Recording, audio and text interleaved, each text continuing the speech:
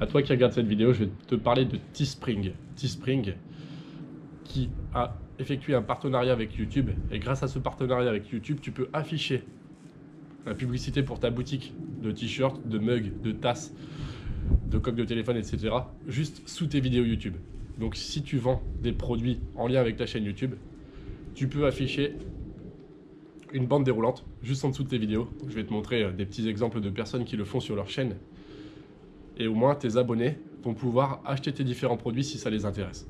Et c'est directement visible sous ta vidéo. Donc ce qui est bien, c'est que la publicité est pile poil sous ta vidéo. Alors si tu veux faire ça, si tu veux afficher les publicités sous tes vidéos, eh bien, il y a une particularité. Il faut que tu saches que tu ne peux le faire qu'à certaines conditions. YouTube et Teespring ont un partenariat qui permet de faire ça. Mais par contre, de ton côté, il y a certains critères d'éligibilité.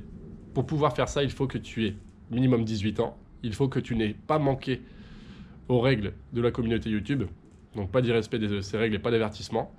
Et ensuite, le troisième critère qui est un peu plus embêtant pour les euh, créateurs de contenu comme moi, c'est qu'il faut avoir plus de 30 000 abonnés.